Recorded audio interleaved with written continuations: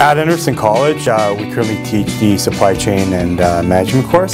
This is a hands-on course that would teach the students the real-life exposure of what is going on in the transportation and the logistic, logistics field. What I've got from past experiences when managing employers, many are that I'm looking for are people who have experience, are willing to learn the industry, and also have the basic knowledge of the international business. We have adapted real-life scenarios into our program in order to enrich our students with an exciting and unique uh, opportunity to learn supply chain operations and logistics in a small classroom settings.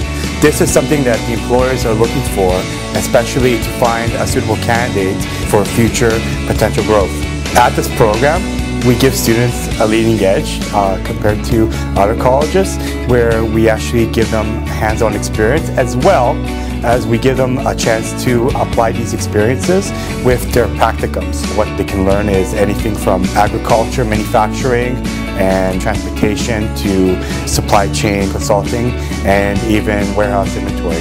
This gives the students a broad opportunity to be able to adapt in different scenarios and execute them efficiently and be part of a, a leading edge industry where it's constantly growing and looking for potential recruits. And I'm always happy to talk with uh, potential candidates and see where they fit in at, uh, at the Anderson College.